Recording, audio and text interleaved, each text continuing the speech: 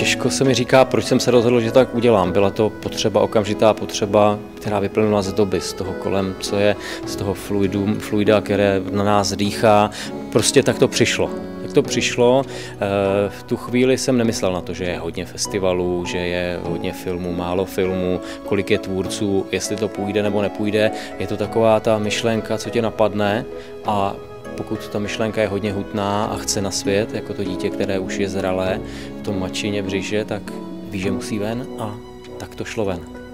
Přihlásit se může vlastně každý. My jsme sice příběhy obyčejného štěstí, ale k tomu jsme také doputovali od toho prvního k tomu druhému ročníku, že když se člověk nad tím zamyslí a veme si svůj příběh obyčejného štěstí, svůj příběh jenom, eh, tak on sám ho může cítit jako neštěstí, ale může ho cítit i jako štěstí. Je to opravdu úhel pohledu. Proto je tady porota, která má to množství bodů a každý ten porodce to soudí srdcem. To je ta naše, to naše největší kritérium. Posuďte srdcem, jak ten film na vás, jaký na vás má vliv, eh, jaký z něho máte pocit. Eh, může to být film, který pro někoho je hodně depresivní a pokud mluvíte s autorem a on vám to vysvětlí, eh, tak já hledám v příběhu, kde je to štěstí, když tam hlavní hrdina zemře a všichni jsou smutní.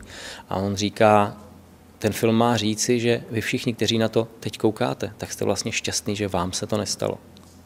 Eh, řemeslná stránka je pro někoho možná důležitá, ale už ten festival vznikal s tou myšlenkou, že někdo může mít v hlavě krásný scénář, krásný film, nemá kameru, má jenom telefon nebo má malou kameru a v životě by ten film nedal dohromady takhle si to může natočit.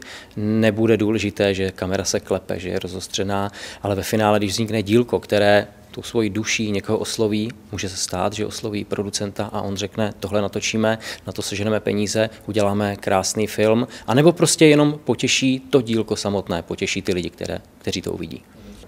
Já jako matka, matka, otec si samozřejmě přeji, aby to mé dítě se rozvíjelo, aby rostlo, aby dávalo radost všem ostatním, aby pomáhalo dalším dětem na svět. To znamená, aby se z toho stala tradice, filmařská tradice, která nebude jen regionální, ale která sem do Dvora Králové přivede spoustu filmařů, nadšenců, ale mluvili jsme i o tom doprovodném programu, takže hrajou tady kapely, jsou různá vystoupení, snažíme se i doprovodný program udělat, aby si od toho filmu člověk mohl na chvíli odpočinout, takže aby se to stala rodinná zábava nejen pro filmaře, ale aby to sem přivedlo opravdu lidi z celé země, ze zahraničí.